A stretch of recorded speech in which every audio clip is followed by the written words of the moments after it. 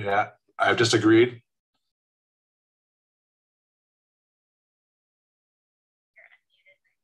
Okay, you can go ahead and start us off.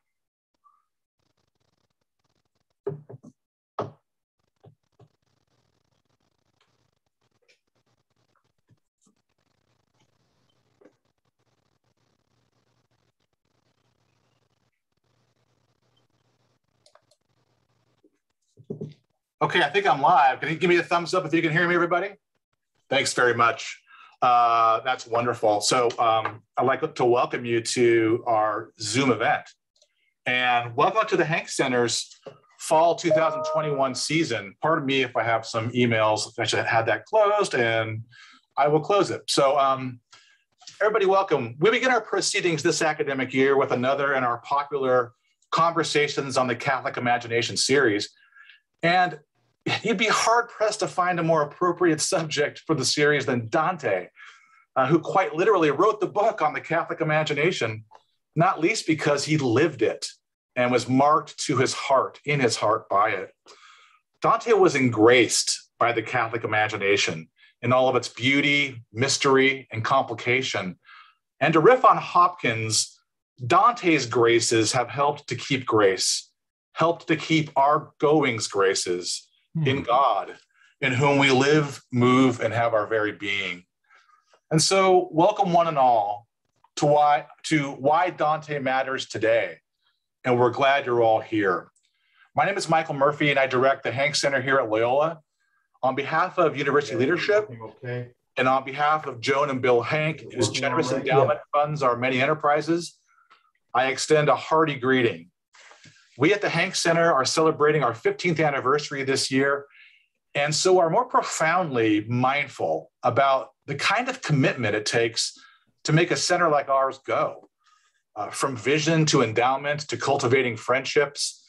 Um, it has been so enlightening for me to look back and see how things took shape, are taking shape, and all the good things so many have done in the name of the Hank Center and the Catholic intellectual, political, artistic, social tradition. Uh, so we're making it a, uh, a year of Thanksgiving for Joan and Bill and all the Hank family. A year of Thanksgiving, quite honestly, for the living fruits of the Catholic intellectual heritage uh, that really still move our, our, hearts and minds today more uh, essential, the very method, the very content of such a movement. In this spirit, I also offer a warm welcome from our dedicated center staff, our new office manager, Patty Delgado, and our new graduate student assistant, Adam High, and our com team led by Sam Surich. I'm so grateful for your, your, superb, uh, your superb work and really welcome aboard. Um, so, really, a round of applause for you. And now, Dante Alighieri. The very name gives us cause to pause. His prophetic voice, his humanity, his technical vitality, innovative spirit, his love for the true, the good, and the beautiful, his love of learning, his desire for God. Sure, while Dante was treated so poorly by Pope Boniface VIII, subsequent popes have laid down a litany of mea culpas, canticles of atonement from the chair of Peter's, but more celebrations of Dante. In his recent apostolic letter, Candor Lucis Aeternae, promulgated on the Feast of the Annunciation just last spring, Pope Francis celebrates well the unique virtuosity of Dante as poet, pilgrim, and expert in humanity, calling Dante a quote, prophet of hope and quote, the poet of mercy. Pope Francis has declared a Dante year in the church, marking the seventh centenary of the poet's death, September 14th, 1321. So, more on that from our experts momentarily. Quick housekeeping. Thanks very much for putting eyes on our next two events. A September 7th event, um, excuse me, a September 22nd event on racial justice in the world's religions, and an October 7th event on Unguarded, a film by Loyola uh, uh, alum TJ Burden and his colleague Simonetta D'Italia Wiener about APAC, the revolutionary Brazilian prison system centered on the full recovery and rehabilitation of the person. Please be our guest. And it hits me right here that that's a really appropriate uh, topic for a panel on Dante as well, uh, incarceration and prison reform. So a note on our Zoom format. It's a meeting today. Most people on the call, uh, have, we've all been through this. Uh, the chat is closed, except you can uh, send your questions and comments right to me, Michael Murphy. And as always, I do my best to integrate them, uh, and I will do. So please, um, right as we go. Uh, if this event were in person, we'd be selling books in the corner. Uh, our authors are prolific, and please check the chat for links to their books. They're coming in right now. Um, all on the call have new work, and that includes Father Gregg's dissertation.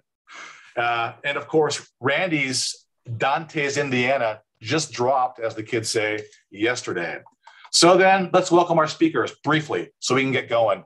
You're in for a treat as our panelists are so continually and authentically moved by Dante every day uh, in their own work, in their own lives. They show the range of the poet's inspiration.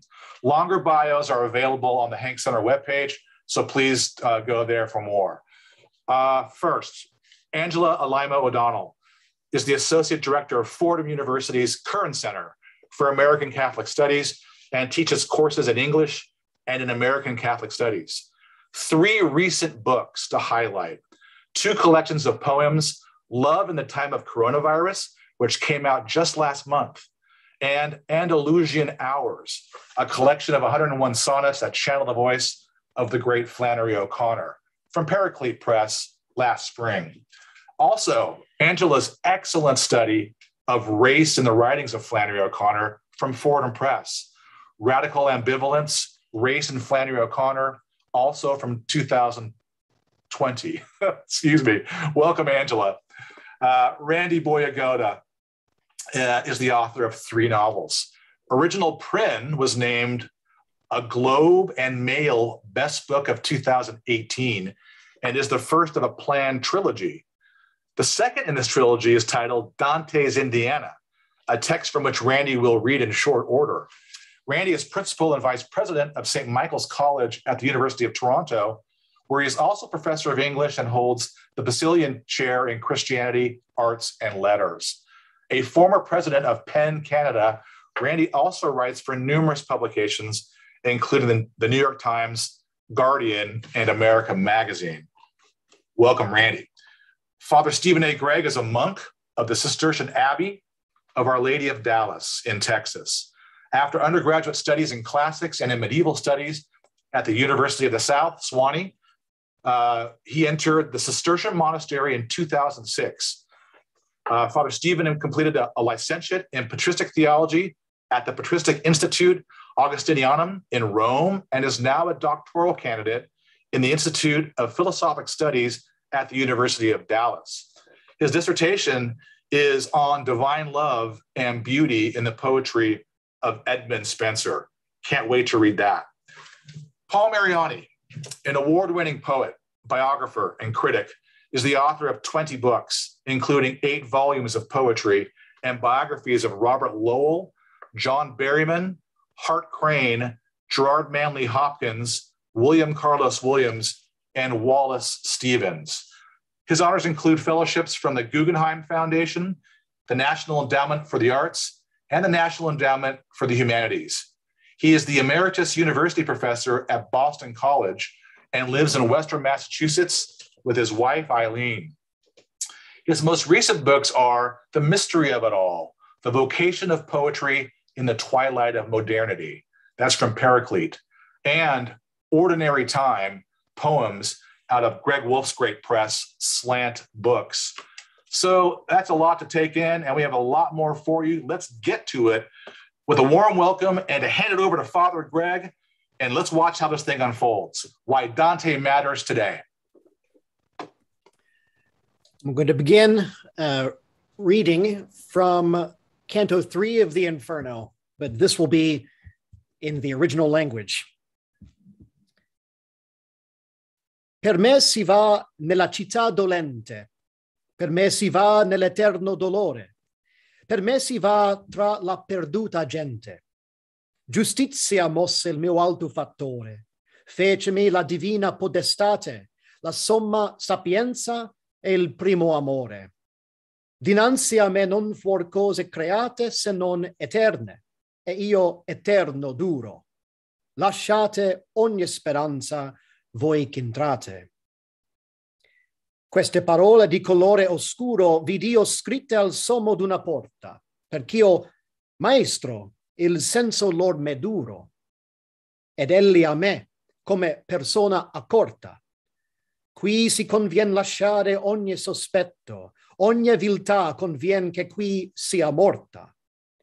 Noi siamo venuti al loco, ho vito detto che tu vedrai le genti dolorose che hanno perduto il ben dell'intelletto e poi che la sua mano alla mia puose con lieto volto, ond'io mi confortai, mi mise dentro alle secrete cose. Quivi sospiri, pianti e alti guai risonavan per l'aere senza stelle, perch'io al cominciar ne lagrimai. Diverse lingue, orribili favelle, parole di dolore, accenti d'ira, voci alte e fioche, e suon di man con elle facevano un tumulto, il qual s'aggira sempre in quell'aura senza tempo tinta, come l'arena quando turbo spira.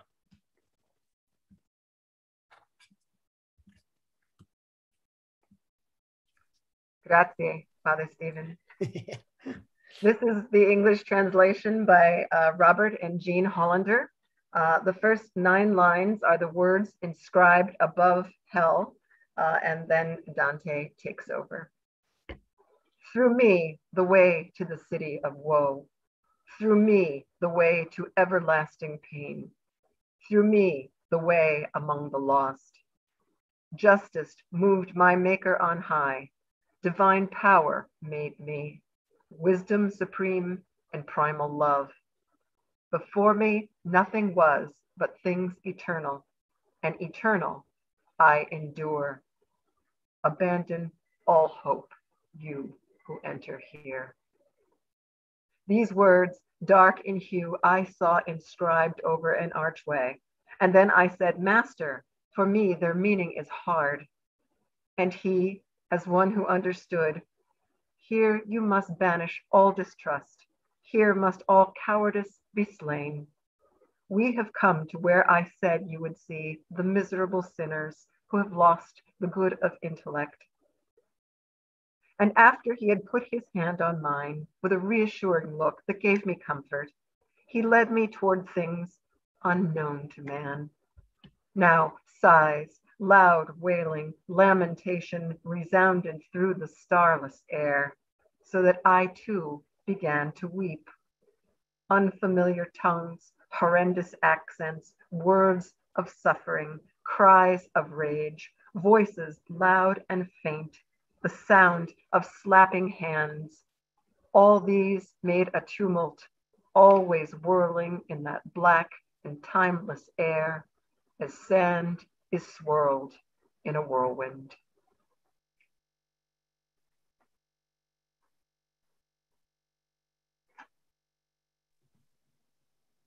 Hi, everyone.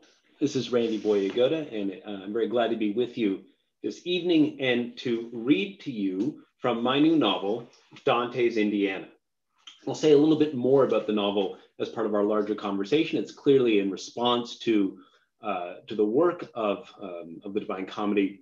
I'll just begin by offering a very quick sense of the situation and what I'll be reading to you from today. The novel is about a group of people building a Dante theme park in an opioid ravaged small town in the middle of America. The main character is uh, a middle aged bike riding Sri Lankan Catholic English professor from Toronto named Prin. He's lost his job, his wife and children have moved away, he's fallen away from his relationship with God. He's looking for a way out and he accepts an unexpected invitation to help an evangelical millionaire build a Dante theme park in the middle of Terre Haute, Indiana. He goes there and begins working with others.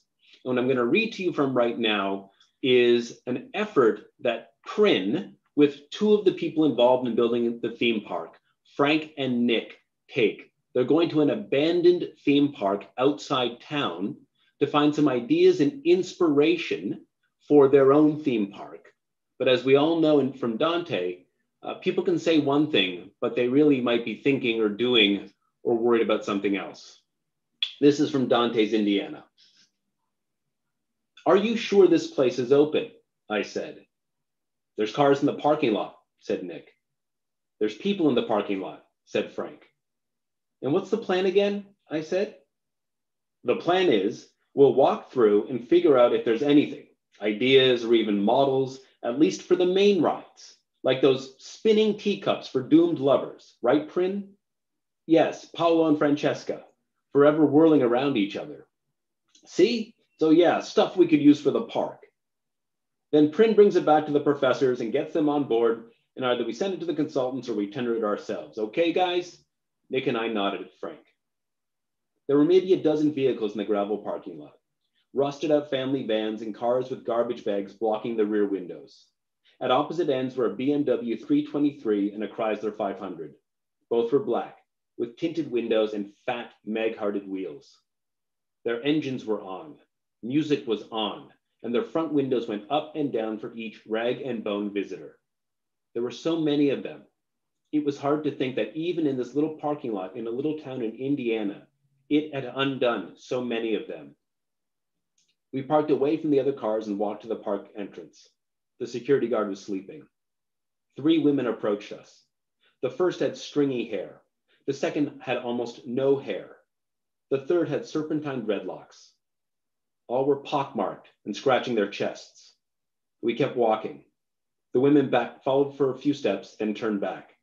Others came up and backed away, surprised that we were real and here. Dizzy's world was open. Beyond the snack bar, the park was a broad spread of asphalt broken up by rusty kiddie rides, vacant concession stands, and empty game stalls. One summer, I won a Walkman for my daughter right there we went to Arby's to celebrate. Megan loved Arby's. Loves. We were right there, said Frank. Does your daughter live in town? I said. Let's keep walking, said Frank. It felt like we were walking through the ghost of an amusement park. We came to the center, a massive plastic and metal elm tree attached to an industrial sized winch. Above the tree's fudge brown limbs and trunk, peekaboo windows were cut into the metallic greenery. There was a small arched door in the middle of the trunk. The door was closed. The twirling elf tree, said Nick. Yeah, said Frank. I could spend all day in there back when we used to come as kids, and it was perfect. I used to think that's what it was like to be kind of like God, sitting still above it all in one of the windows, with everyone looking up trying to find you, knowing you're there, and smiling when they see you, and you smiling down at them, and watching the whole world circling around you. Is there something like that in Dante Prin? said Nick. The door opened. Head first, body part by body part, a young man crawled out, his chin dragging on the ground. Feet first, on her belly, a woman slid out after him. They were skinny enough to fit through the child size entrance. They looked at us sleepily, then walked away slowly. After a while, two little boys also came out of the tree. They followed their parents, the bigger one holding onto the smaller one by his backpack. I really don't think this is a place for us, I said. Just keep walking. It's not the place for those kids either, but they're here. People's kids are here. Frank was already walking ahead straight towards the park's main ride, a small wooden roller coaster. It was old, but it didn't look broken down like everything else. A cutout wooden knight held a sword sideways beside the entry gate, indicating how tall you had to be to ride the dragon. There wasn't much to it as far as roller coasters go. The ride wouldn't take more than a minute. It had a dragon face, and the rest was rest of the cars were patterned in electric green scales. Actually, that's perfect, I said. For what? said Nick. In the middle of Inferno, Dante and Virgil are stuck because they can't go any further on foot. They're surrounded by rivers of blood and deserts of fire. So they take a ride on this human faced monster. I don't remember its name, but it's kind of like a giant scorpion or snake. So far, all the other professors have done to translate that part of the poem for the theme park is to suggest painting the monster's body between two levels and have people walk down the arena ramp. That's so boring, said Nick. I don't even understand 90% of what's going on in Dante, even after the PowerPoint version you had them put together for us, Prin. But even I can see something scary and fun in a roller coaster that looks like a monster. Who wants to walk when you can roll? Right, Frank? Yeah, sure, that could work, said Frank. He was texting and looking around, scanning, searching. Frank, you're worse than a middle schooler with that phone. Sorry, my wife keeps texting me. Prin, could you take a few shots for us? I just need to talk to Frank about something. I took his phone and went around the roller coaster, then along the platform taking pictures. Every few, I looked back at Frank and Nick, two 60 year old men in dockers and hard toed shoes, arguing. Nick hugged Frank, who didn't hug him back. They agreed. Nick announced they agreed. There was nothing else for them to see in the park. The passenger side window of Frank's truck was shattered. The glove box was open. Papers were strewn on the floor mats. The highway transponder and garage door opener were gone, as was the backrest on the driver's seat and the charger cable and dashboard mount for Frank's phone.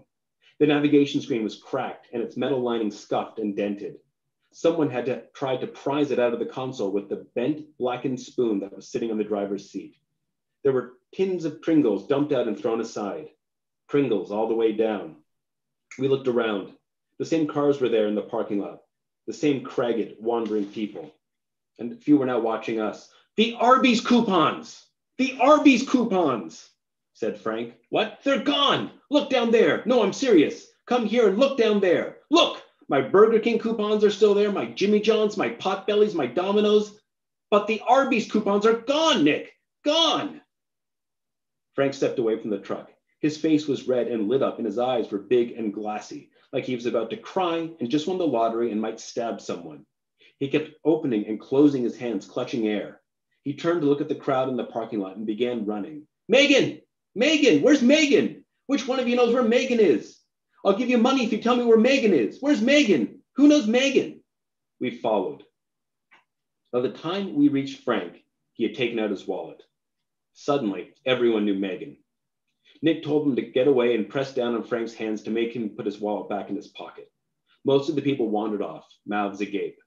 Two remained, skinny and scraggly, windbreakers and dirty jeans, sunken faced and sad eyed, fidgety and gumming their raw red faces.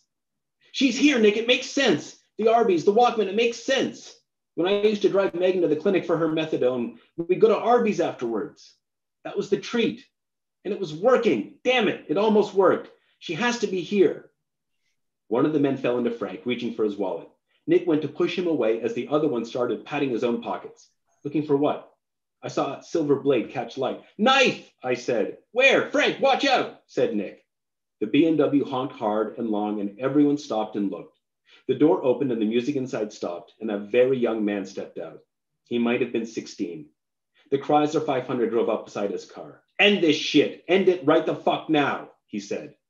The first one let go of Frank and the other one put away a spoon, and they ran off a few feet and stopped and turned back and did it again. This is a quiet and peaceful place for quiet and peaceful people. You are all fucking that up. You two motherfuckers standing over there. One more time and you are banned from my parking lot. Understood? But they had already wandered away.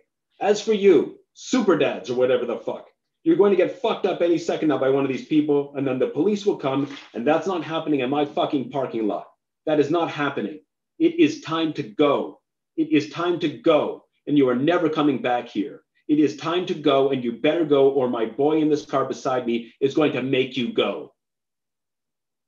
Do you know Megan? Thank you.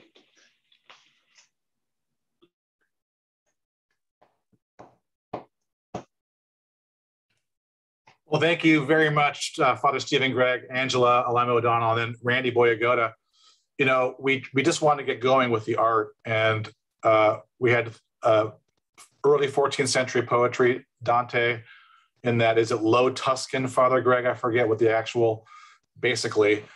Uh, Angela followed up with a great trans uh, with reading from the Hollanders, right? We have a question about you know what's your favorite Dante translation? Keep that in mind, people. There's a lot of them. You got Longfellow, you got John Ciardi, you got a lot of people to think about here. Dorothy Sayers, is that right? And then Randy, reading from his new book, where you get Arby's and methadone and PowerPoint. So art always responds to art. It's something that we always talk about. Quick lightning round guests. How do you think about how that all fit together? Real quick, any thoughts on that? Angela, you're nodding your head. What do you think?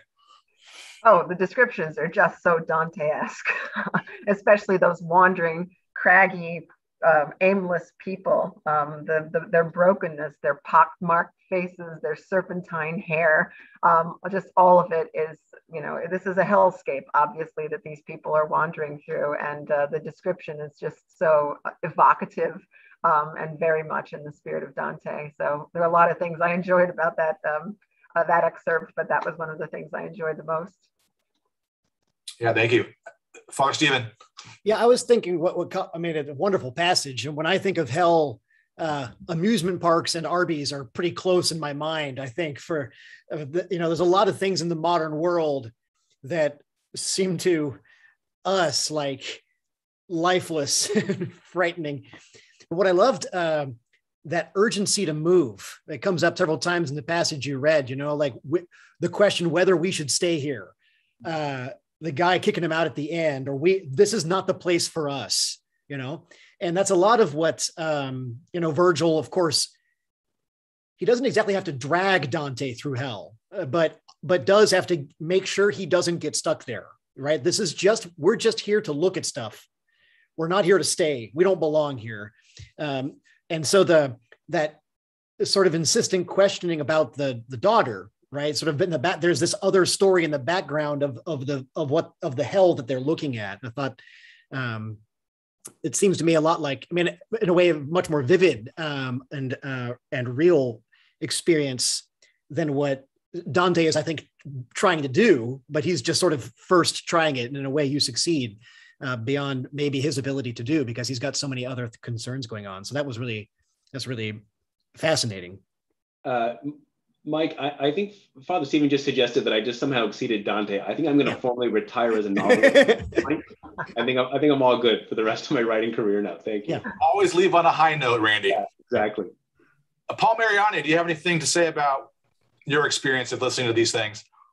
Yeah. Oh, yeah. Uh, uh it, it, just uh, abandon all hope. You who enter the uh, the uh, subways in New York City, for example. Okay there's just this uh, uh, the, the, nightmare uh, around us uh, and the dreams that we have and the, the, interchange between Dante's Florence and Italy in the uh, in the 14th uh, century and and our own time, Kabul, Stalingrad. It, it just it just goes on and on. It, it, it's a nightmare, and you want to escape it in any way that you you possibly can. So I I'm crawling my way up to uh, toward the purgatory at least to get out of this this hell. Yeah.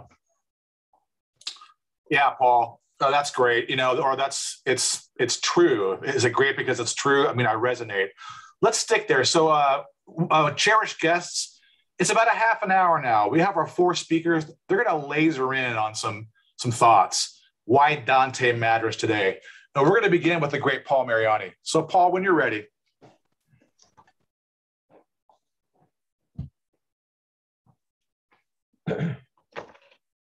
yeah, here we go.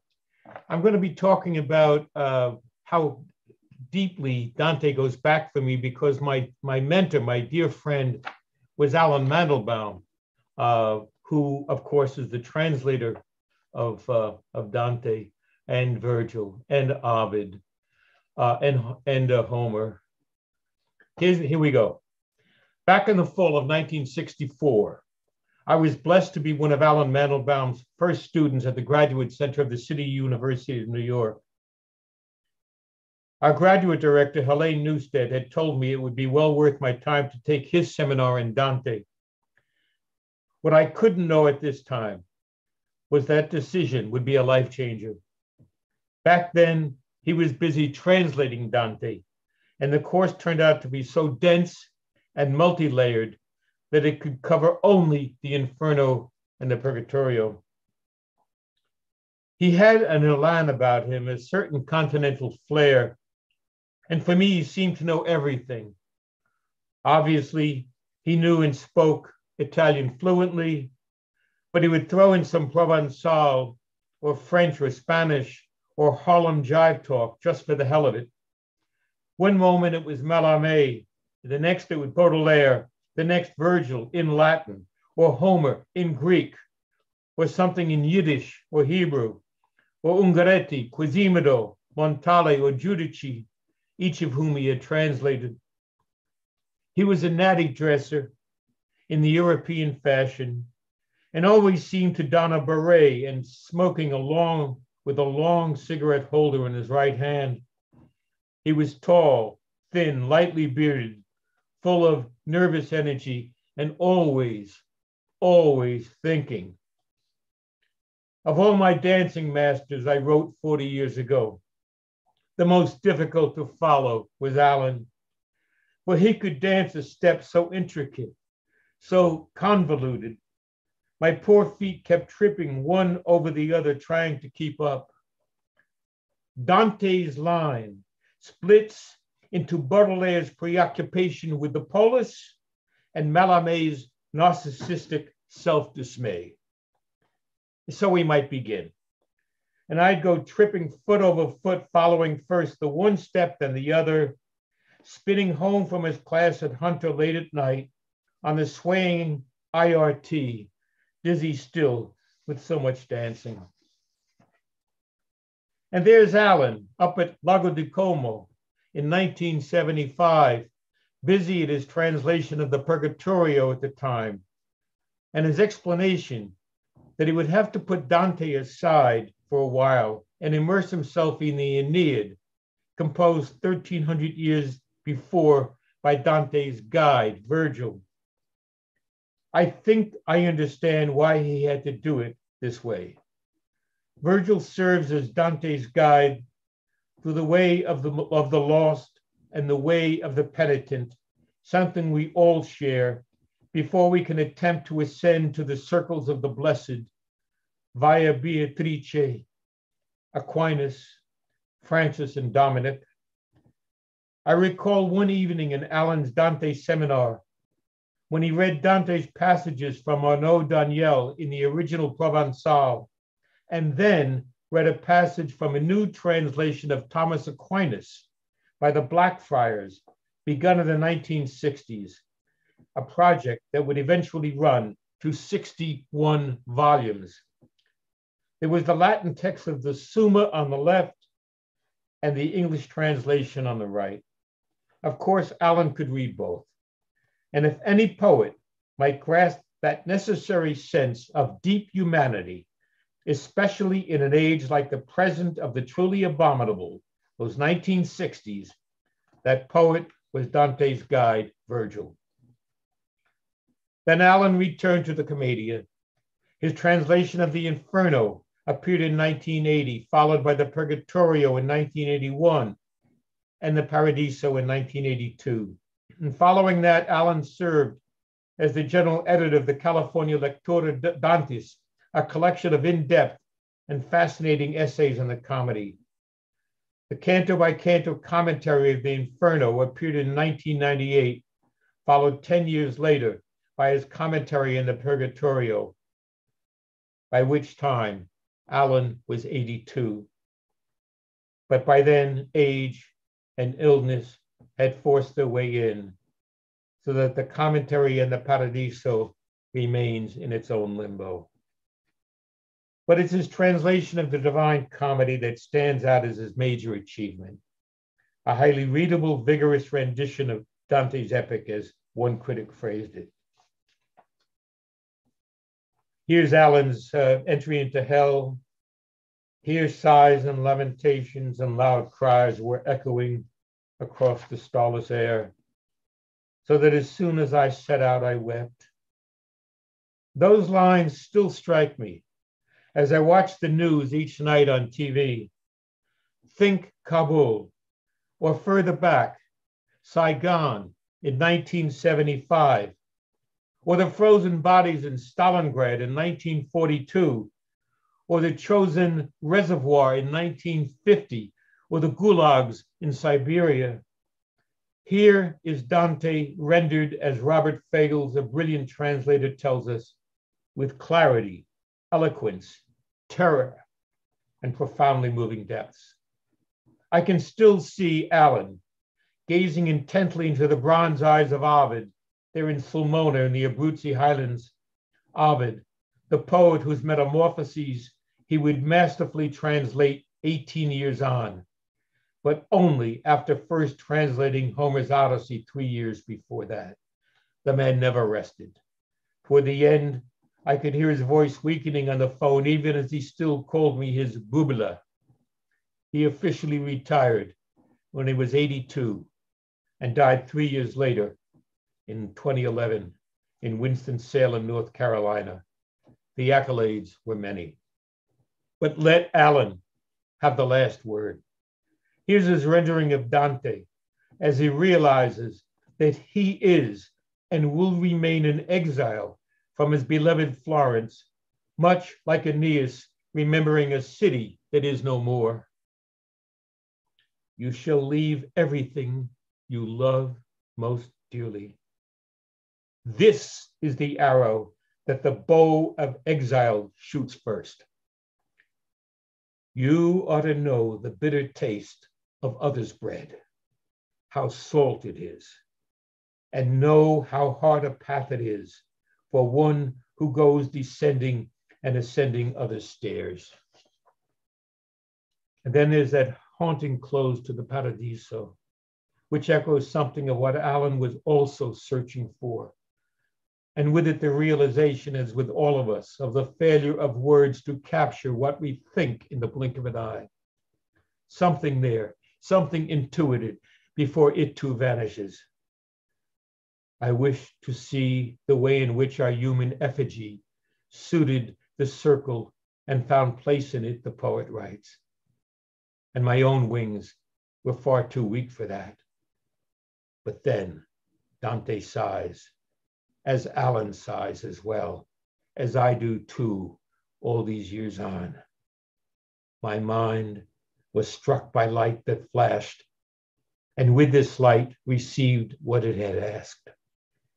Here, force failed my high fantasy but my desire and will were moved already like a wheel revolving uniformly by the love that moves the sun and the other stars.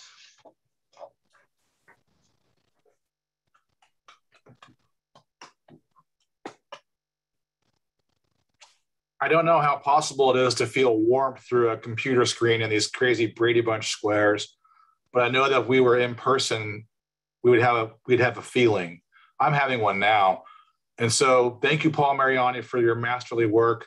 We speak the name Allen Mandelbaum with honor, and we remember him well of blessed memory here. Thank you. Angela, please take us away. Thank you, and amen, Paul. What a beautiful tribute to your former teacher, mentor, uh, and great genius who has given us such a great gift in his translation of the Commedia. So thank you for that. Um, I'm going to actually address Dante's importance to us uh, as a poet rather than as a professor or a scholar for a few minutes. The poet T.S. Eliot once famously stated, Dante and Shakespeare divide the world between them. There is no third. I think all of us poets agree with that. When we sit down to write, the poet who is most likely to be looking over our shoulder is Dante.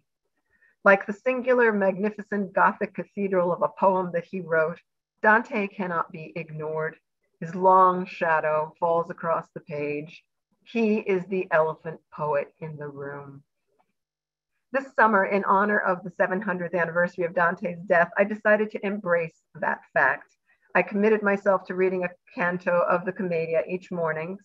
Since there are exactly 100 cantos and there are very nearly 100 days of summer, give or take a few, and since the Commedia is divided into three sections in much the way the summer is divided into three months, this seemed a downright poetic way to spend the summer and to honor Dante. It was, as everyone knows who reads Dante, an intense experience walking with Dante each morning. I found myself drawn into the world of the poem, and I would find myself thinking about it for much of the day. He also began entering my dreams. The Commedia is the kind of poem that gets under your skin and won't leave you alone. Dante became a ghost haunting my house. Given his daily presence, I should not have been surprised when I began talking to Dante. And that talking took the form of poems. What began as passive reading gradually morphed into a species of accompaniment. I began to write poems in response to the scenarios and the events that Dante revealed to me. At times, the poems would embellish on those scenarios, at others, they would interrogate them. In each case, the poems gave me the opportunity to place myself in the commedia, to serve as Dante to Dante's Virgil and to deepen my understanding of this powerful and brilliant poem. I confess, at first this felt presumptuous, setting my little poems beside Dante's great big one. But I enjoyed the conversation and the sense of intimacy with Dante so much that I ignored those naysaying voices that every writer is familiar with and just kept on writing. By the end of the summer, I had written 25 poems, though more are inevitably on their way, most are formal poems, some of them sonnets, and some written in Dante's Terza Rima to honor the master's craft. Great art generates more art, uh, as Michael referred to earlier. That's a fact that we know to be true. It stimulates the imagination. It calls out the artist and the reader to participate in the experience of the poem, to engage in an act of co-creation.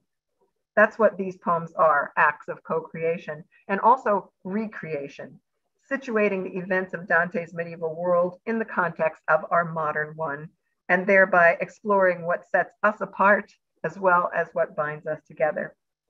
And finally, my poems are meant to be celebrations of the fact that the Commedia is a living work of genius, not some dead artifact or dusty museum piece frozen in time.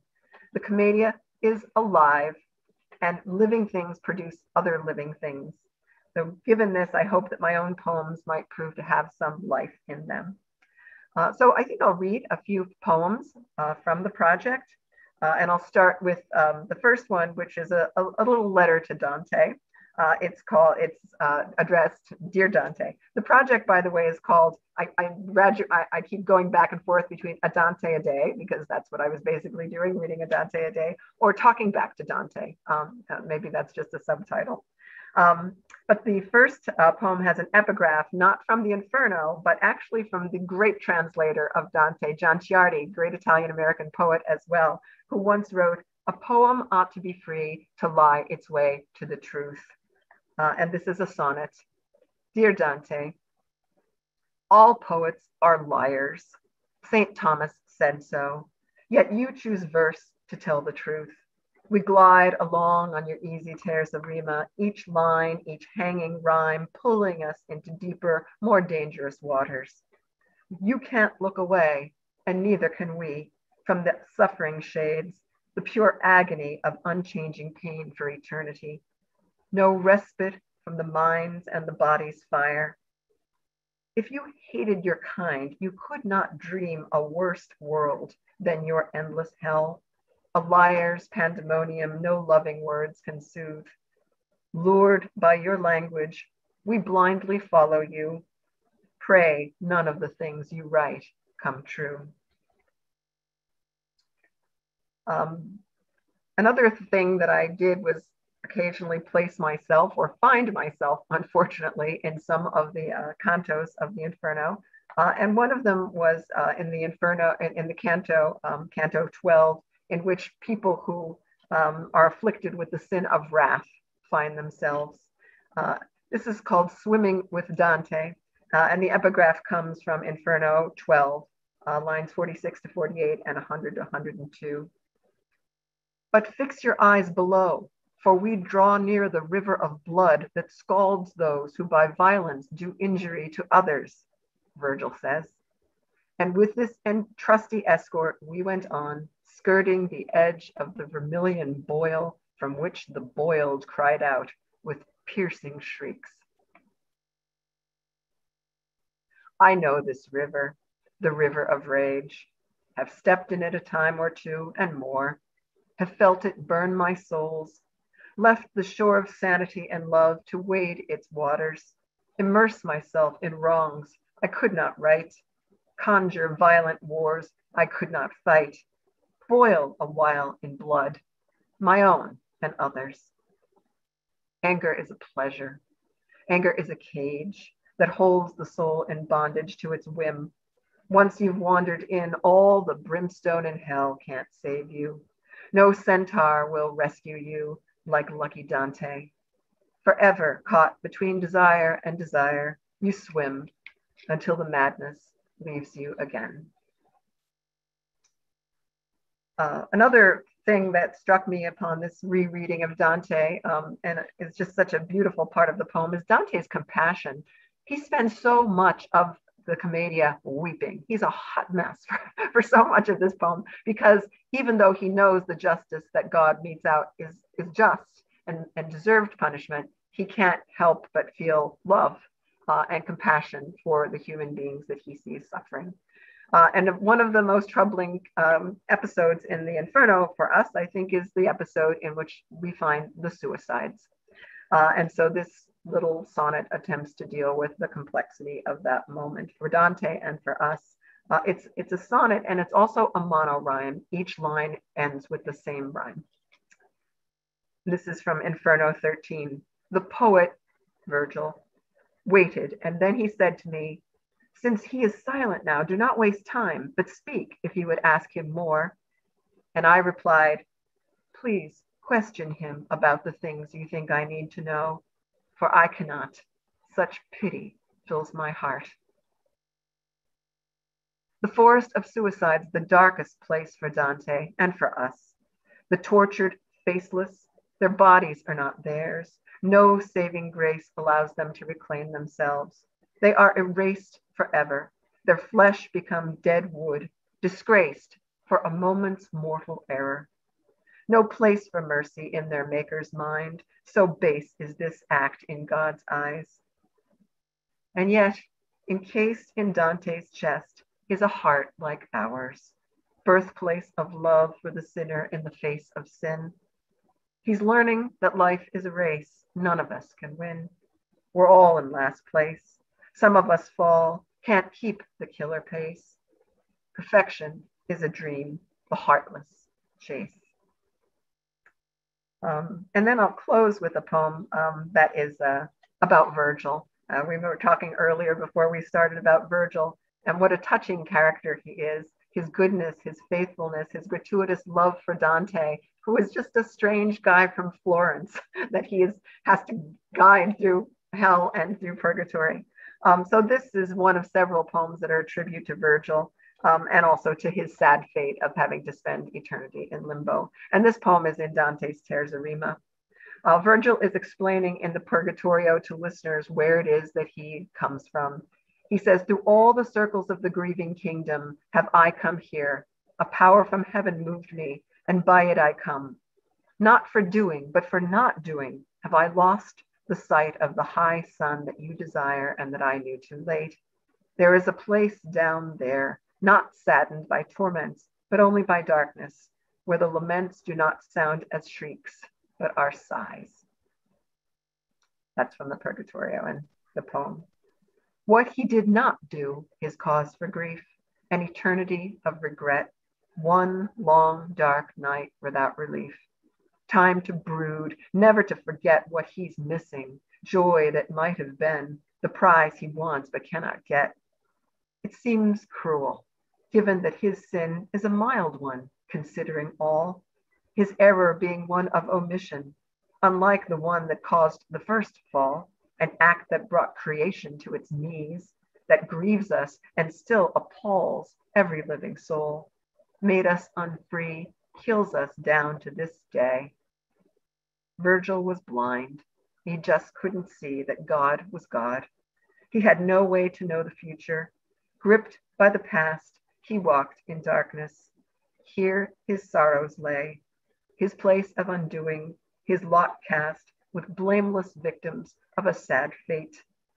The first of poets lives among the lost, cursed by knowledge that arrived too late.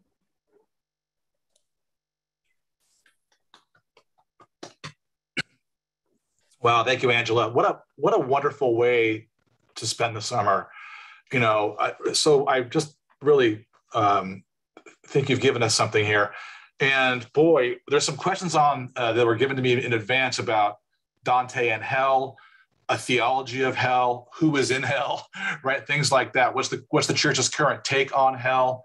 You know, for those who think about uh, Origen or Hans Urs von Balthasar or uh, even David Bentley Hart, someone like that, about this these theories of an empty hell uh, after the radical gift, uh, the kenotic gift of uh, redemption by uh, the living God of the Trinity. That gets very wonky theologically, but you bring us there, right? And you remind us that how art and Randy as well, how art responds to art.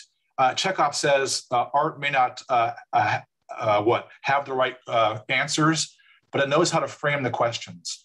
And somehow I think in the, the poems and in, in the fiction, we're doing that. So thank you, Angela. A lot to think about there and such beautiful poetry uh, besides. We now give the, the floor over to our friend, Father Stephen Gregg. And Father Gregg has a, a meditation to share with us here. Thank you, Father Gregg. Yeah, thank you. My pleasure. I, I, wish I could offer something even remotely as interesting as what's already been shared. But uh, I liked the notion that there's a certain presumption we have that as readers of Dante, how dare I, how dare I uh, even try to imitate Dante, but I'll offer what I can. So the question ahead of us, and it's one I think about often, mainly as a student and teacher of Dante, why indeed does he matter? Uh, why choose this rather than the hundred thousand other things that are interesting to do? Um, and well you can already you can know the tree by its fruit right? So any, anyone listening now can hear from even just the three artists on this panel that the catholic tradition of imaginative work is is incredibly alive uh, bearing great fruit. It's, it's not an easy group to belong to you know but it's got a lot of fruit that it's bearing and branching out in all kinds of directions right? Not and certainly not just in literature so a clear case can be can be made. I don't need to preach to the choir, right? A, a, clear case can be made for for needing to engage with this living and complex tradition. And if you're going to choose a starting place, Dante's work is simply the best, right? Though it's not scripture and though it's not exactly part of theological tradition, nevertheless, it is the, the single best place the most complete and, and in a sense we could say efficient. Like it, it it doesn't he doesn't waste any time in teaching you what you need. It's the best place to look for how the catholic imagination works you know not not only in literature but in in really all possible fields it seems to me is his ambition. And so that's just kind of a practical reason you know why why dante matters. But uh, a little more. So another reason i think dante matters today for us and we've hinted at it a little bit, but it's that he did not just write the Inferno and stop. Right? He continued on through purgatory to paradise. I was thinking of it as we heard of uh, of Mandelbaum's work of translating, sort of persevering, commenting on through. You know, you know, we all seem to have a feeling that these hundred or so years, the human race has been devoted to creating hell for itself. I'm thinking a little of the old question can there be art after Auschwitz, right? Of course, yes, there can be. But alongside art's power to be testimony to pain and grief, to bear witness against injustice and evil, Dante shows us there's also this power of illumination. Reading the Divine Comedy opens our eyes to possibilities of grace and light and freedom not just darkness, but grace and light and freedom. Things that we are so prone to forget, even while Dante does face the full possibilities of existential darkness. I saw a small quote from uh, the famous old book by Paul Tillich uh, the other day. He wrote of Dante that his work enters the deepest places of human self destruction and despair, as well as the highest places of courage and salvation. And the fact that Dante does both those things, that's essential to why his work still matters. As an Aeneas, so let's go to his, his predecessor, more Virgil, right? As Aeneas finds out from the Sibyl in book six of Virgil's Aeneid, the way downward is easy. Black Dis's door stands open night and day. But to retrace your steps to heaven's air there's the trouble. There is the toil. Now, Dante faces the, the darkness of hell. He sees the whole experience, and he's very thorough in his vision of it. but he nevertheless finds his way, or rather is, is guided to the other side. And we need to learn to do this. We need to learn to share that experience as students and guides ourselves. Another way that he matters, on a smaller note, uh, in the monastery, uh, Dante matters in a special way. Uh, I have the, the the privilege of being a, a Cistercian, uh, Cistercian monk, and we. What makes Dante matter is that he knows that the Cistercians are the best thing going in the kingdom of heaven. If you go through all of the other saints, they're all they're all there in heaven. They all have great things to say, but at the very end, he gets to Saint Bernard of Clairvaux, a matter of some spiritual pride in our monastery, right before the Virgin Mary. You know, so you know she she wins in that sense. Um, Bernard takes over from Beatrice to direct Dante's eyes to the Blessed Virgin. Why does he choose Bernard? I think this, this tells us something about those who know about St. Bernard's writings in life. This tells us something about why Dante still is so alive, right? Why he can produce the fruits that we've been listening to. Is because this saint, I mean, yes, he had indeed thought everything through. He had a, a, a whole view of things like Dante, especially in his Marian writings. And he could express himself so eloquently that he is called the mellifluous doctor among all the doctors of the church. These are all important things for Dante. But most of all, St. Bernard insists, so uh, as we learn it in the monastery, St. Bernard insists that the point of learning and the point of working, the point of prayer is not just more thinking or finding more ideas, but rather arriving to true experience of God's grace. And so Dante matters like St. Bernard, I think, because he wants to use art to lead us to experience. We need the guide to real experience rather than just art leading us to distraction or even just to instruction. Another way is maybe a last way, a last way from, from my point of view uh, that uh, Dante matters today. I've, I've for years been struck by a word that he invented in Italian. And we don't really have an English word. We still haven't invented a good English word for it. Um, there's a single neologism in the first canto of Paradise. It's hard to talk about heaven, and so Dante invents a lot of words in Paradise. But the word he creates is trasumanar, which is to, I guess, in English, to transhumanize. It's it, which is not a good word. I wouldn't use it. It sounds so much better in Italian. It's translated usually to pass beyond the human or to soar beyond the human, right? To transcend the human. This is what Dante calls his journey. Though he says what this means cannot be put into words, and as he says, until grace grants you the experience to really know what Dante is writing about, it's sort of like really knowing what love is. You can talk about it all you want, like like I'm attempting to do right now. But the, the question is really, do you know love or not? Do you have the experience? This word he creates, trasumanar, is a powerful word. It's, a, it's it contains an idea that responds to a lot of our needs today, I think. So people speak a lot of living in a post-human world, right? Of passing beyond what usually have been considered the boundaries imposed by human nature, as if as if our human nature were a prison we were locked into from which we needed to escape. Nature itself, it seems like something we're trying to defy and to seek liberation from. I suppose there must be some good aspects to this, but it also, to me, honestly, sounds a little terrifying.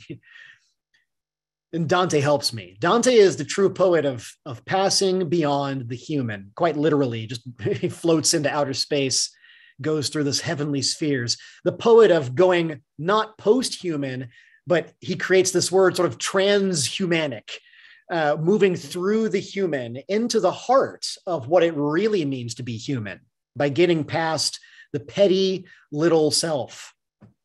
The poetry of Dante, and I, I mean, a lot of the things we've heard today, even in this Zoom forum, these are works that have this metamorphic power, right? They show us the paradox that we most become who we are when we go beyond being just what we are. We go beyond being just ourselves. The sinners in hell they're re- they're wretched in a lot of ways, but it's not mainly because of the tortures they undergo, right? Which are quite inventive and strange. It's not just the absence from God, which is of course eternally dismal and bad, but it's mainly because they are stuck being themselves forever, never capable of growing or advancing, slowly locked into the ice of lifelessness, like the image of uh, Satan at the bottom of hell, freezing himself into the waters, right? It's not God making him be there, it's just his being his own stupid self. Or the blasphemer in the seventh circle of hell named Capaneus, this uh, figure from Greek mythology. He even makes a boast of this. He says, That which I was in life, I am in death. And he's proud never to be more than himself. So hell, you know, it's not like Sartre said, hell is not other people. Heaven is other people. hell is you being nothing but you for all eternity, right? With no communion with the other.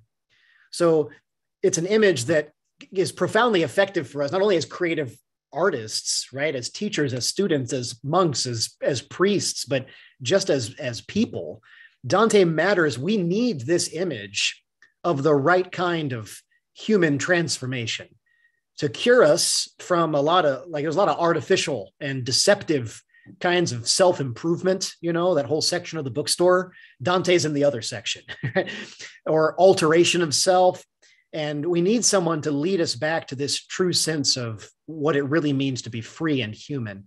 So that's what I, I find is just a longtime reader of Dante. Somehow his work, which I I first read actually in Robert Pinsky's translation of the Inferno, uh, which is quite quite good. Uh, I don't think he ever went on to do the other two, um, but uh, it, it's it's a poetry that is capable of of freeing us to really be who we are. And that's i mean that's a challenge I, that i think we're all trying to live up to as as writers and teachers so that's sort of my sense of why this man uh, matters 700 years later so thank you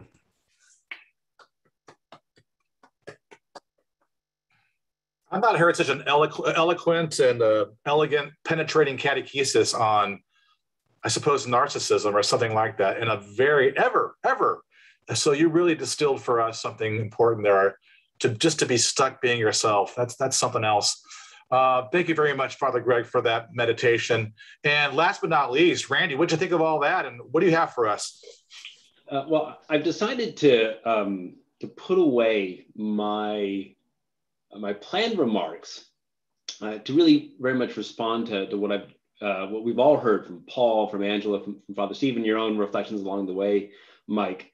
Um, and in the following way, you know, I think one of the experiences that everyone involved in this session has is that Dante finds you as much as you find Dante, you know, in unexpected ways throughout your life, whether as a teacher, uh, as a reader, just as, a, as an ordinary person. Um, I've been reading Dante a canto a day for the past five years. And it started five years ago as a kind of almost spiritual practice, to be honest, every single day, one canto. Um, and it became something I started doing after vacuuming, vacuuming potato chips out of the family car on a Saturday morning. I kid you not, in terms of where Dante finds you. I was listening to a BBC radio adaptation of the Divine Comedy, and I noticed heavy breathing. In all seriousness, I'd never thought about this before that Dante and Virgil are working their way down through hell. It is a physically difficult journey, right? And so the actors were struggling. And I had this great idea immediately. Someone should write a hiker's guide to Dante. There's lots of different companions all the way from the beginning. One of his sons wrote one. Someone should write a hiker's guide, a nice, cute little book that you know millennials will buy.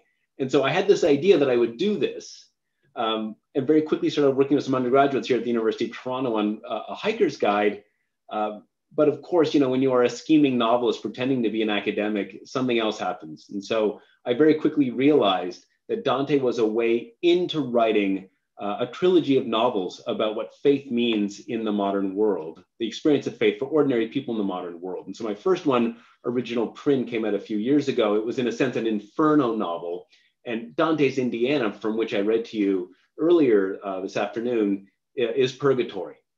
Um, in terms of the premise of it, I've, I've, already given you a sense of it. It's these, um, these people trying to build a Dante theme park, each one of whom uh, is lost, but also can serve as a guide for others, is also someone concerned for others, trying to send help. In other words, one of the things that I realized from writing the novel is we make a category error by only seeing ourselves as Dante, never mind all the would be sinners and saints in the, the Divine Comedy. We should always already be open to being Virgil for others, to being Beatrice for others. And I think that gives you a sense of the fullness of response rather than only, am I Dante, yes or no, right? Um, you know, we all have a smack of Hamlet, whatever, but there's more to it than that, right? Um, and so, how does that find me? It finds me with this novel, with this premise. These characters, each with their own struggles, um, are trying to build this theme park in this opioid ravaged small town. But here's the dilemma. Uh, the other, I think, significant original word, Father Stephen, in the Divine Comedy is contrapasso. Uh, and the, you know, the, the logic of what you've done in this world kind of informing what you will do for eternity or make up for during eternity or be redeemed from during eternity. And so the premise of the novel is these characters are trying to build this theme park in a town where there's only one remaining uh, company. And that company is a plastics uh, manufacture packaging company. And the people involved with this company have realized that the only way to keep people employed, to keep this town alive, is for this company to begin packaging opioids for local distribution. Why? Because it's the only thing that's a guaranteed business success in this small town. Now, if you're listening to that and you're thinking about a Dante theme park in the same town, um, you see that dilemma is a perfectly American dilemma in the 21st century, but it's also a dilemma that I can see as a novelist through Dante, right? Dante provides a vision of ourselves and of the world around us, a sharpening, a clarity, a depth so the novel that I've written um, is not by any means a kind of homage to Dante or a take on Dante. It's a novel about people living in the here and now where I'm only able to reveal things because of my reading, my reading the world around me through Dante, my writing about the world around me through Dante. And so, yeah, it's a theme park. There's a roller coaster named after Gary, and there's there's lots of kind of fun Dante stuff in there but really it's seeing the struggles and the effort in the context of purgatory to move ahead uh, that really came through with this novel. I'll just say one final thing and then I'll, I'll close. Um, Dante finding you where you uh, where you wouldn't expect. Right before the pandemic, uh, my family, uh, my wife and I and our four daughters, we decided to get a dog. And so we had lots of debate about this, and we ended up deciding to get a Weimaraner. Now, some of you may know a Weimaraner is a beautiful dog it's a you know like a basically a waist high German hunting dog, and it's gray and it's sleek and it's beautiful. And we named our dog Virgil. Why? Because he is the companion through the middle of the journey of our lives. He's gray, a shade, and he doesn't go to heaven. And two weeks ago, Virgil died before he even turned two years old. Uh, he, he had lymphoma. It was a very quick and completely unexpected experience. And you know, we've all been trying to make sense of it in so many different ways, as you can imagine. We'll probably get another puppy eventually. But then, if you think about the greatest, from to my mind, the great heartbreak moment in the poem is Virgil's disappearance, right? When Dante just turns and he's gone. And if you think as a writer or as a reader or as someone who's lost a beloved family pet of just how demanding that decision was for Dante, given how important Virgil was for him to not create the conditions for an elaborate goodbye. Why? Because there's something important here, something more important. It's continuing the journey, it's going on towards God. And I think if that's one thing that Dante can tell us as readers, as writers, as, as dog lovers, uh, that's why he matters today. Thank you. Well, every, the the Zoom screens are clapping and and really giving kind of proper uh, response and respect and adulation to this great panel.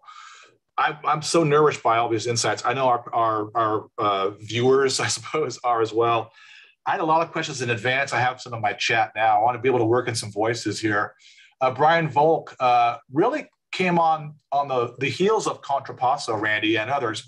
Uh, and Brian writes this Can someone speak to the current relevance of Dante's use of Contrapasso, in which the punishment for, uh, for the sin is the sin itself? Uh, the terrifying uh, reality of hell is, as Father Gregg says, is getting the lesser good you choose rather than God's goodness and to be stuck there forever. Uh, anybody on our panel comment on the creativity is and here's another question is don some people say dante's vindictive about his florentine colleagues that have forgotten him and treated him so poorly so what do you think about these these hellish landscapes and contrapasso uh, anybody can I just can I just respond yeah, right away? Yeah, yeah. And, and, hi, Brian. It's good to good to hear a question from you. Uh, very quickly, uh, an American Midwestern Rust Belt town that has destroyed itself with opioid addiction and then staying alive by packaging opioids for local distribution seems to me an example of you know an American contrapasso. Uh, the professors who work at this Dante theme park are all failed academics, and they're all Dante scholars who couldn't get jobs. And so, what is their kind of condemnation? They have to take all of their years of learning and devote it to creating a theme park that goes completely against everything that they believe in as academics. But it's the only way, again, to keep going, to keep providing. So I, I think the concept of contrapasso opens up so much about, about life today um, and you know the kind of the high stakes consequences of ordinary living in so many ways, right? Um, and then the, the, the goal is to get beyond the contrapasso, to get to get more towards um, I won't even try it in the Italian, but you know, the, the moment, the transu, what have you. Transumanar. Thank you. Thank you. Yeah, yeah, exactly. So how to get from one to the other as readers, as individuals, and even as, as writers, right? It's easier to write about Inferno. It's harder to write about Purgatory. It's very hard, I think, to write about Paradiso, to get beyond Contrapasso. We have a nice pairing emerging with uh, Transumanar and Contrapasso as conceptual. Anybody else want to respond? Uh, yeah, I would like to. Um, one of the, the, things that I think we need to credit Dante with, with his concept of contrapasso, is he is so a brilliant psychologist. He understands the nature of human nature, and uh, as we were talking about earlier, you know, those creatures, those people, barely recognizable as people in hell. Uh, what makes their torture so awful is that they are damned to be continually themselves and be trapped in the sin that they love uh, and they're besetting sin for the rest of eternity uh, because they cannot see the world other than the way that they've always seen it and do things that way.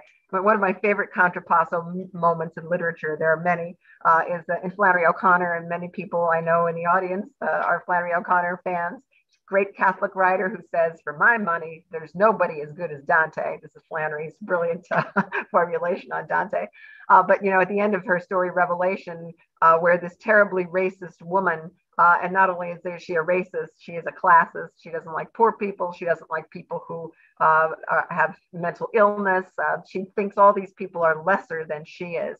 and, and God gives her, she, she, she's angry at God uh, because God sort of calls her out on this through this experience that she has. And she's very angry at God. And she basically asks God, Who do you think you are? And God gifts her with a vision, uh, a, a, purgatorial vision in which all of these souls are rumbling up towards heaven, towards God, in the same way that Dante's heading up towards heaven.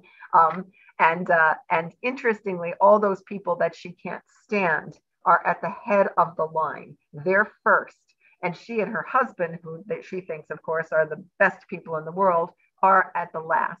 Um, and of course, this is this is this character's Mrs. Turpin's image of you know of you know the the the way that uh, that salvation is going to look.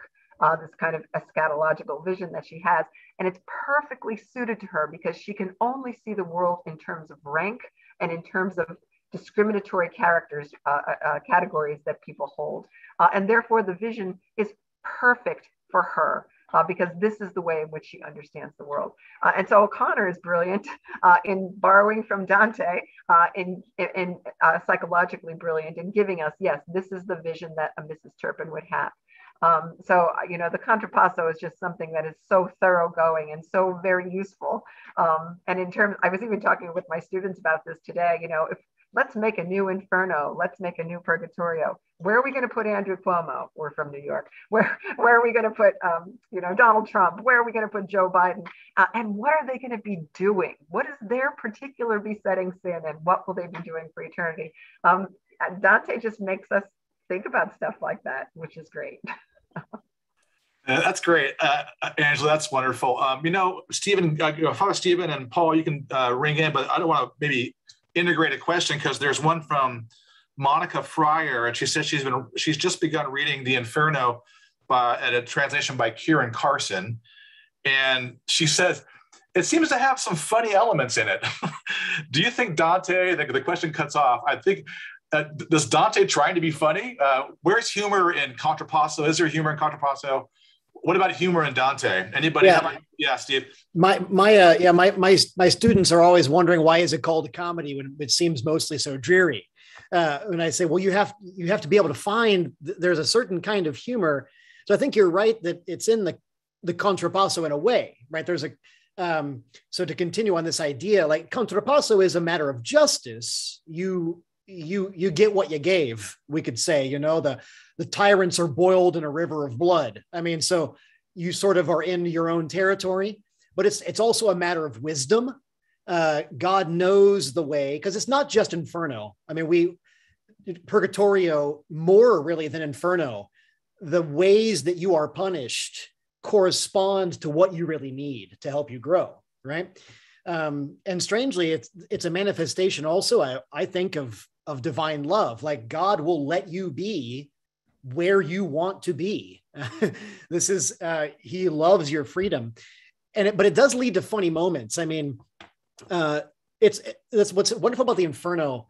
Like there are some things that are either really horrifyingly scary or funny. Like a lot of horror movies are like that too, right? If you're in the right mood, the horror movie becomes hilarious.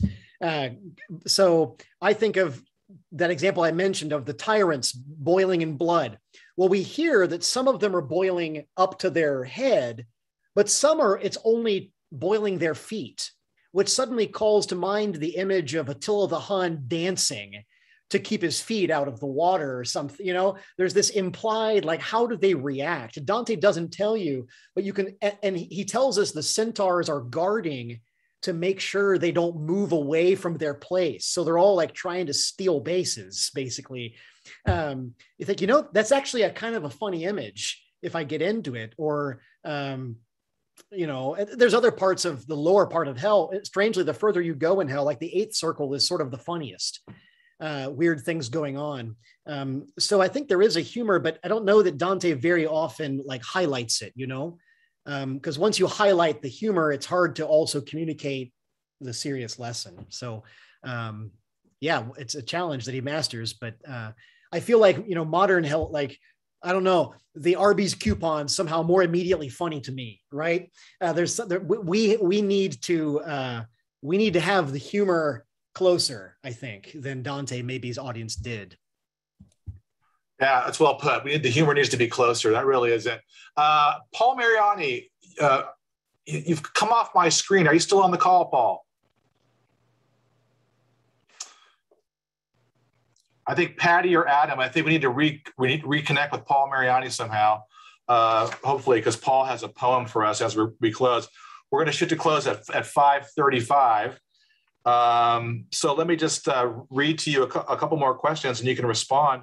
Uh, Jessica Hooten Wilson, uh, our great colleague uh, from the Catholic Imagination Conference and other places. Jessica is a great reader and writer. She would, she's asking what what's the best resource for first time Dante readers who are confused by any number of things in the poem.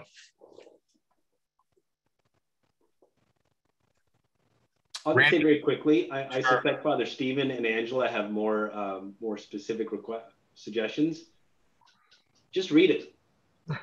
Embrace the confusion. Just fall into it.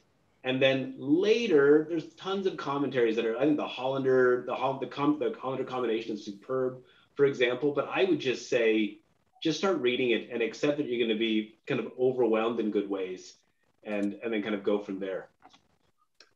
Um, I just happen to have this little book by my side. It's called To Hell and Back, a, re- a modern reader's guide Um, and it's not by a, a, great scholar. It's actually by a diocesan priest from Baltimore named Joseph Gallagher. It's published by Triumph Books. And it's really a lovely, I've had this book for many years when I used to live in Baltimore. And I go back to it all the time because he does a really nice job of just summarizing what happens in each canto. Uh, so for particularly for a student who's encountering it for the first time and is wondering like just exactly what is going on, and he just does a really nice job of of, of uh, summarizing it. So Jessica, this is this is a good one.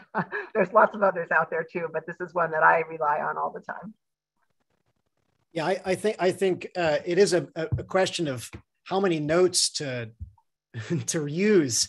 Uh, I, I think Randy's right. I mean, the the main goal with any poetry is even you know like, like trying to learn a foreign language. Just read it all first, then go look up the words.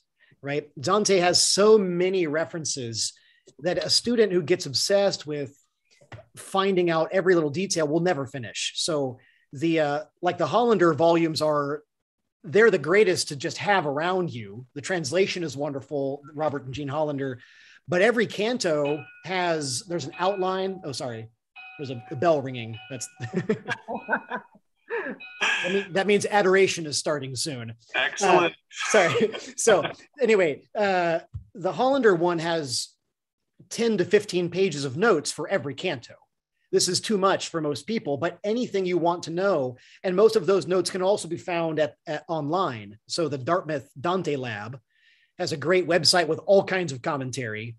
Um, I also like, uh, so Anthony Esolen has a, a, relatively new translation from the Modern Library whose notes are just the right level. Like there's just enough notes uh, mostly on biblical and philosophical connections and has a good outline, a good like summary of each canto.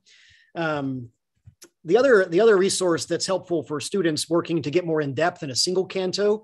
So the digital Dante at Columbia University, they have a, it's I mean the commentary is extremely uh, detailed and interesting. So it's a little bit much for just you know the average reader. But it is true that the, the first thing to do is just read through the whole canto. Every each canto is only 130 something lines long.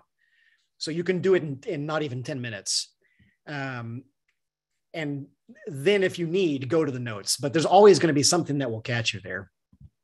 Um, and I just want to emphasize the digital Dante is brilliant and it's great for students because it's entirely online and you can just click on any canto from the Purgatory you want and click on any commentary on it. And then you can actually watch an hour long lecture by Teodolinda Bartolino, Bartolini, the great Dante scholar. Um, so it's really, uh, it, it's got everything in one site. It's great for students. Thank you all. Paul Mariani, I hear you're back on the call, which is uh, just it's music to my ears. Who do you like for uh, translations of Dante uh, or helps in introducing people to Dante who are not exactly scholars?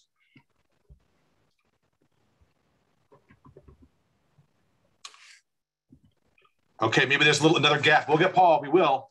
Um, could I, I mention? Could I mention one tiny thing also? Sure. So, uh, just starting yesterday, we opened a, a, website mainly through Baylor University here in Texas, but also the University of Dallas, called 100 Days of Dante.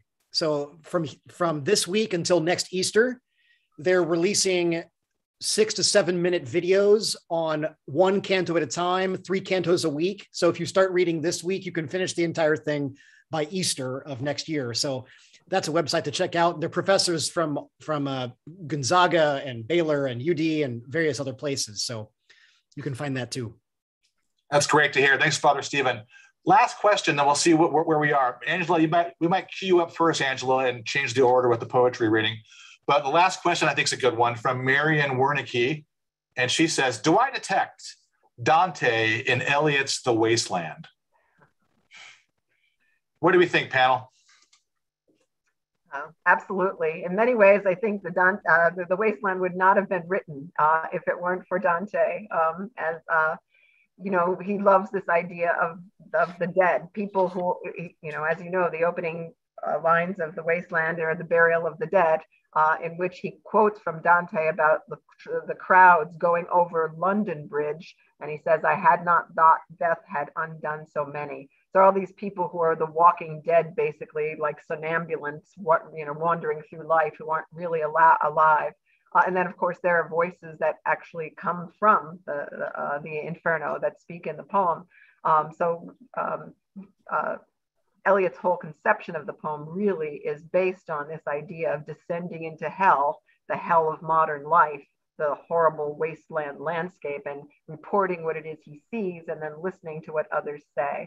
Uh, one of the subtitles, the actual original title of uh, The Wasteland was He Do the Police in Different Voices, which actually comes from a Dickens novel.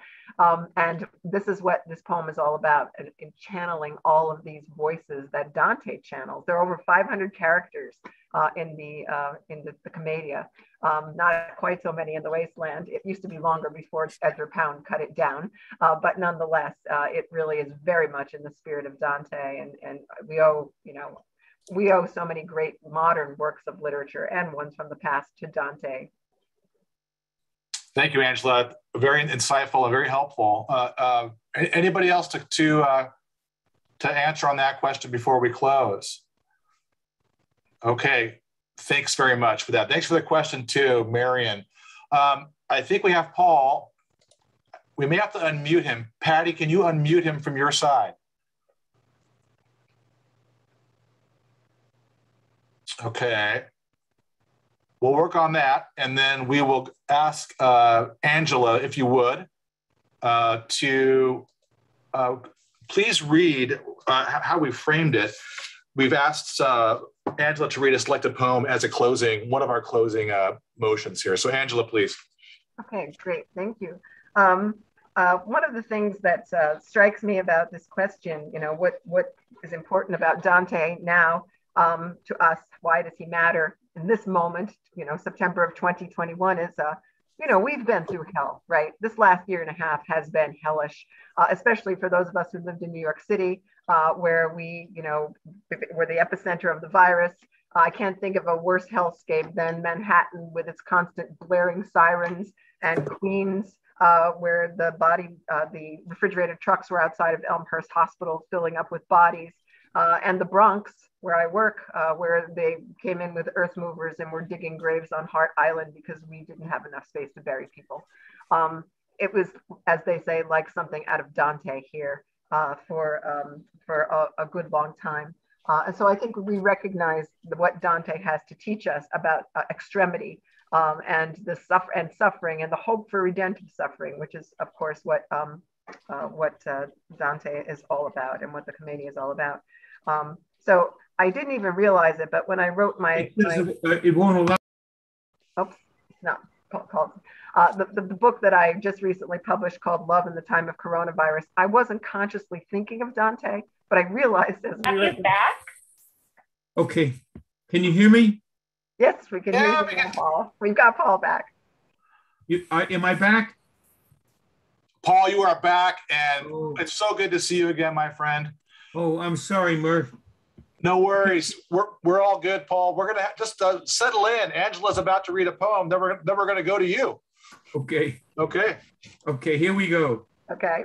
So this uh, this the, the shape of this book owes everything to Dante, and I didn't even realize it uh, because it really begins in this state of um, disarray uh, and this sense of, um, you know, the dark wood uh, that we were all walking through. Only in this case, the wood is on fire. And basically, the book goes on this step by step journey through hell, through inferno, through purgatorio, and aspiring towards paradise.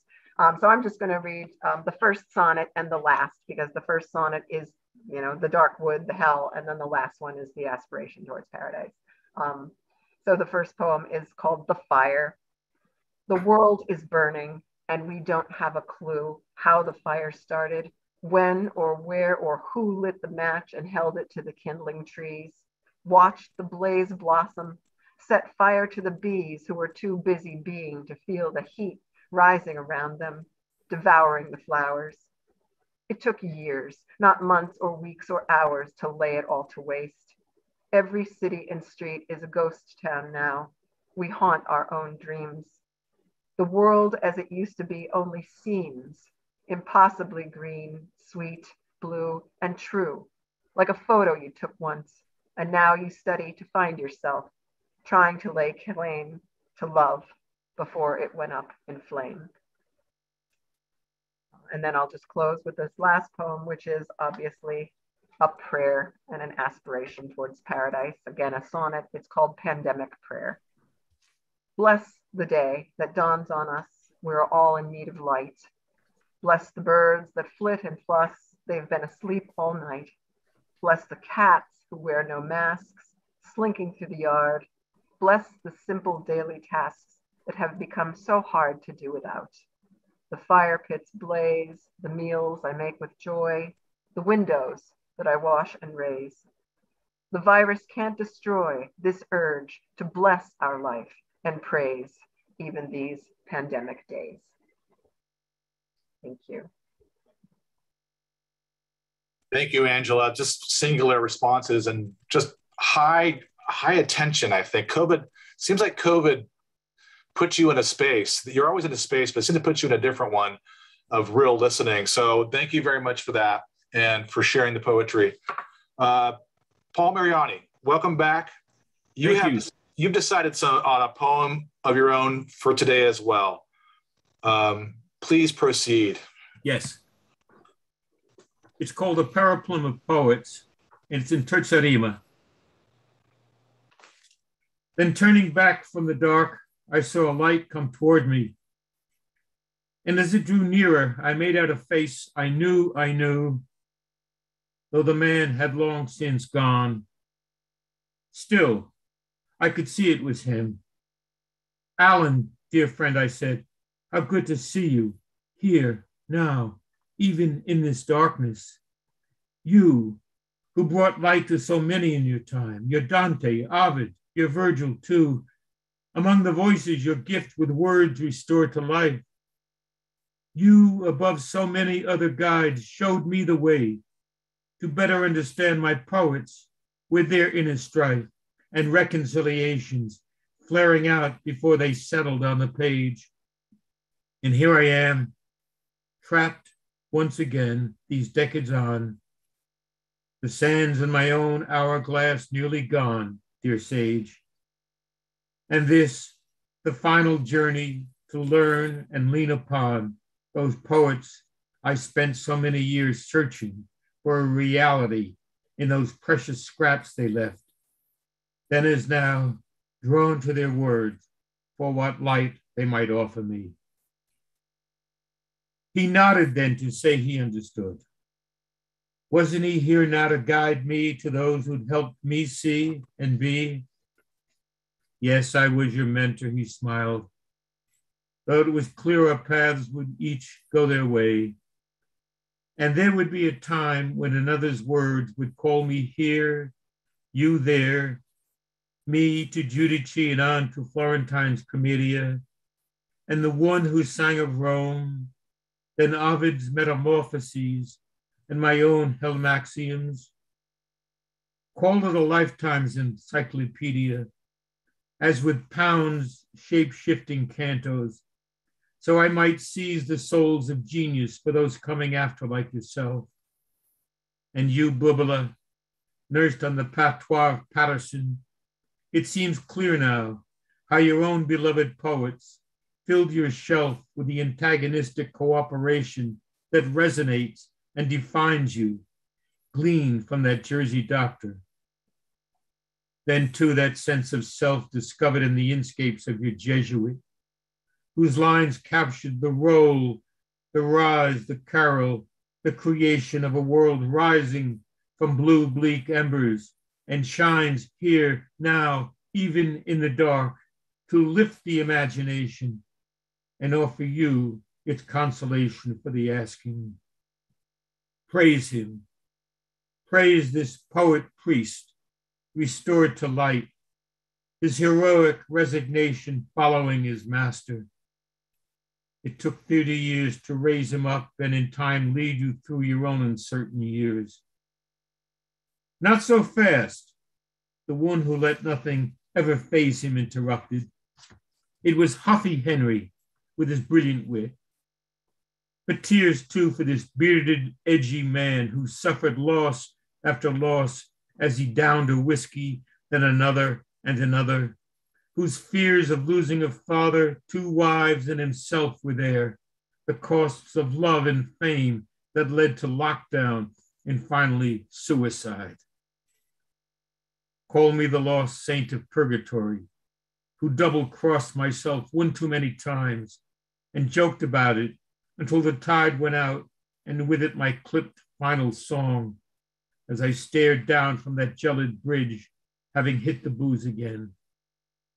And so I died, waving adieu like my dear Hart Crane, as I too hurled down a noun splitting from the words which give it meaning to float off into some abyss, and yet still hoping somehow to be found again.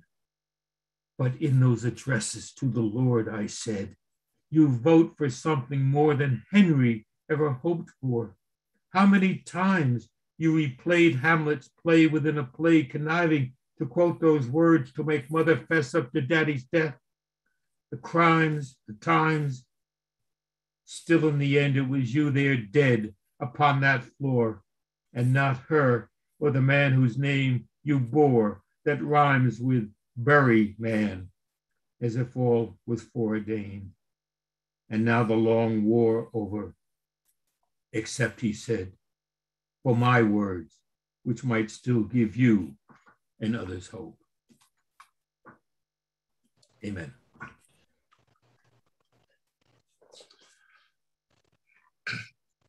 Amen. Uh, I don't think there's anything else that could be said. Uh, but Paul, I would ask you maybe because we hear this menagerie of living voices, your great heroes, people you've written about John Berryman, Gerard Manley Hopkins, Allen Mandelbaum in this original work. Uh, what move? I mean, it's it's. I don't want to say what what what went through your mind as you wrote, but this it, it's it's a text without comment. But is there anything you'd like to say as a, as an afterpiece in the composition of this wonderful, uh, just part of the poem you've written?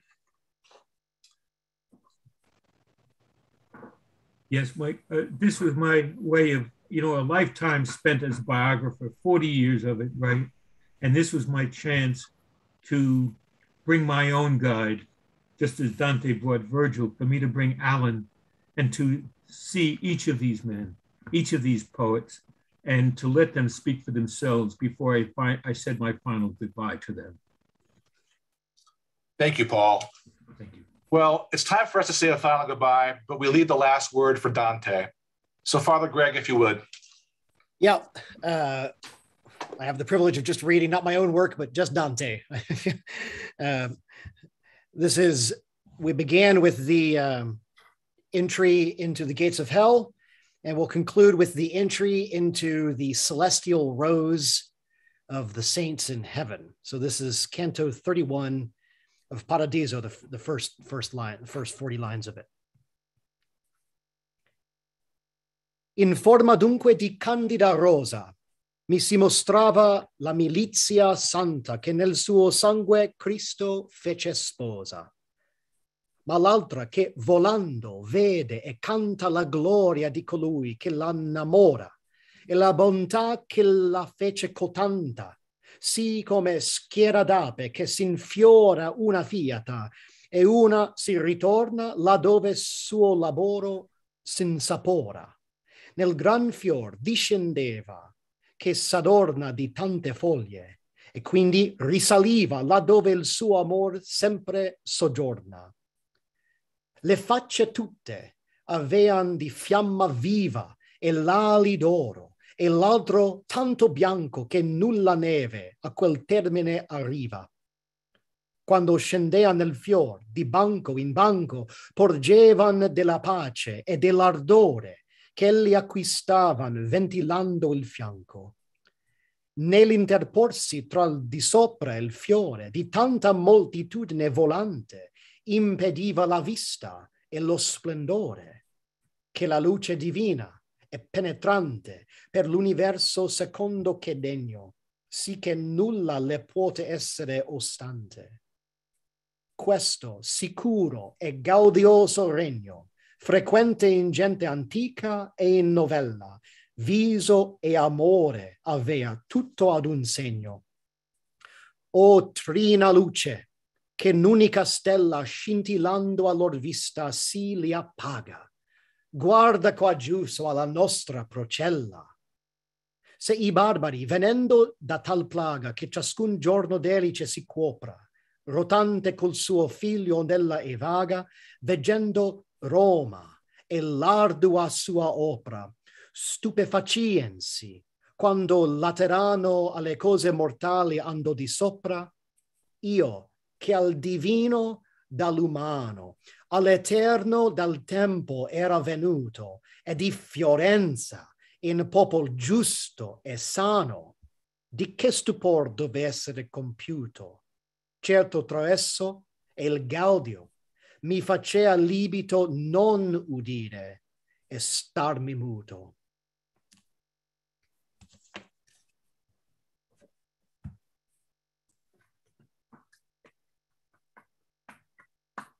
I think this is the English now. Is it Randy then Paul or yeah, thank you. After that beautiful rendering, though, I Yeah. mean, mere Canadian accented English is going to be quite a come down, everybody. So from Paradiso to the purgatory of listening to me read it in English. So, in the shape of that white rose, the Holy Legion was shown to me, the host that Christ, with his own blood, had taken as his bride. The other host, which, flying, sees and sings the glory of the one who draws its love, and that goodness which granted it such glory. Just like a swarm of bees that, at one moment, enters the flowers and, at another, turns back to that labor which yields such sweet savor descended into that vast flower graced with many petals, then again rose up to the eternal dwelling of its love. Their faces were all living flame, their wings were gold, and for the rest, their white was so intense, no snow can match the white they showed. When they climbed down into that flowering rose, from rank to rank, they shared that peace and ardor which they had gained, with wings that fanned their sides nor did so vast a throng in flight, although it interposed between the candid rose and light above, obstruct the sight or splendor. Because the light of God so penetrates the universe, according to the worth of every part, that no thing can impede it.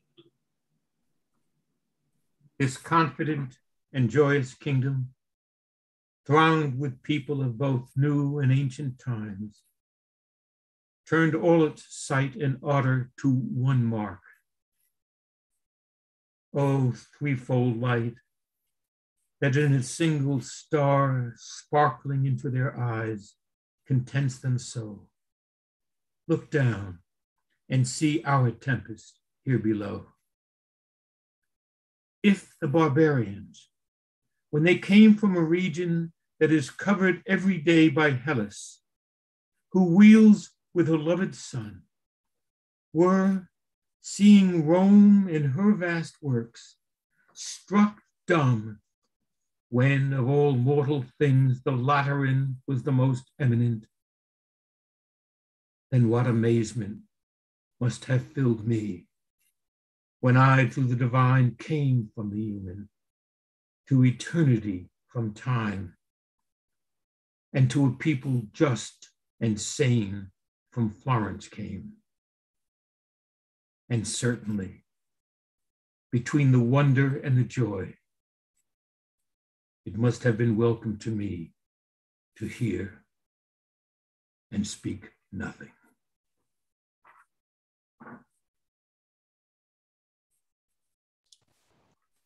Excelsior, my dear friends, and may our loving God bless our day and keep the Dante year and keep all of our graces going.